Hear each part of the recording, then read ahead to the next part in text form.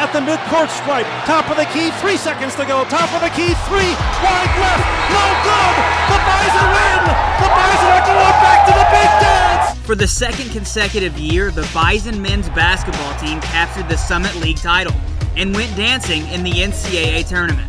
About everyone that plays college basketball, it's a dream to go to the NCAA tournament. So once you get that feeling once, you're going to want it again. While there is a chance for a three-peat for NDSU, the only focus for the team currently is today. Progress. You know, we've got to not worried about anything other than ourselves getting better every day together, whether it be a practice, a film session, or a game.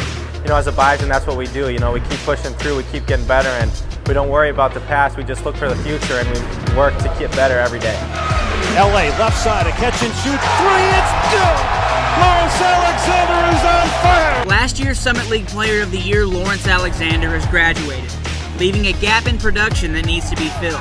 Something the Bison can do with four starters returning from last year's team, along with Summit League Sixth Man of the Year, Dexter Werner. You know, we're not going to look to replace him with one guy or two guys. You know, we're going to look to replace him as a whole team, as a whole unit, and you know, keep getting better as a unit instead of you know worrying about one guy replacing the scoring. During the summer, NDSU traveled to the Bahamas for three games, but also had 10 important practices before the trip. You know, ultimately, that was probably more important to us than as a program to get those practices in than going down there and playing. You know, playing was the reward, and it was one thing. You know, we, we learned a lot about our young guys, and uh, we learned a lot about who we are as a team.